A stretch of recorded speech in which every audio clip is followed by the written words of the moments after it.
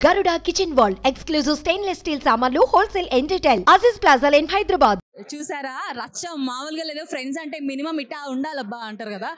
అలానే ఉంది. సో మరి అమర్దీప్ గురించి ఏం చెప్తారు? ఎప్పటి నుంచి ఫ్రెండ్స్ మీరు చాలా క్రేజీగా ఉంటారు together?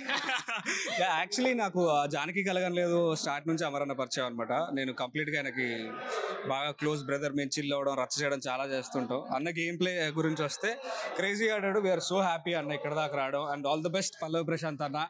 And over to Bhavishya.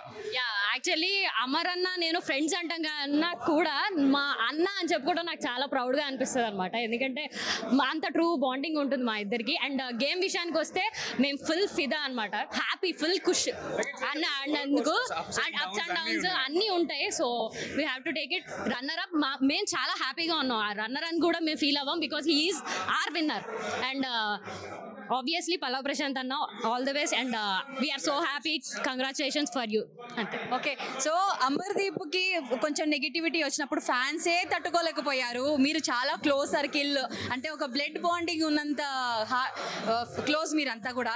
So ఆ నెగిటివిటీ వచ్చినప్పుడు మీకు ఏమైనా హర్టింగ్ అనిపించిందా? మీరు ఎలా తీసుకున్నారు? యా బేసిక్ ఆబ్వియస్లీ కొంచెం హర్టింగ్ అనిపిస్తుంటుంది. బట్ స్టిల్ ఏంటంటే ఏం చెప్తాం? అలా జరిగిపోయింది అంతే. వాళ్ళ కోపం వాళ్ళది వాళ్ళ ఆవేశం వాళ్ళది. But end of the day అర్థం చేసుకున్నారు కదా అందరూ అంతా.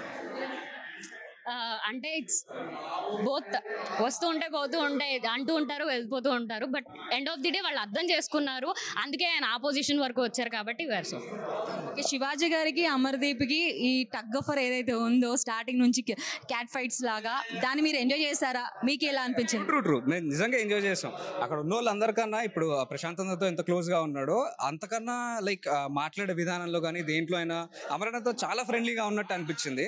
సో ఆ బాండ్ ఉంది కాబట్టి ఆయన కొన్ని ఏమైనా అండం కానీ లేదంటే ఈయన తీసుకోవడం కానీ జరిగింది. అంటే బట్ అది పోర్ట్రే అవ్వడం కొంచెం వేరేగా పోర్ట్రే ఉంటుంది but Tom and Jerry Tom and Jerry fight లా ఉంటుంది.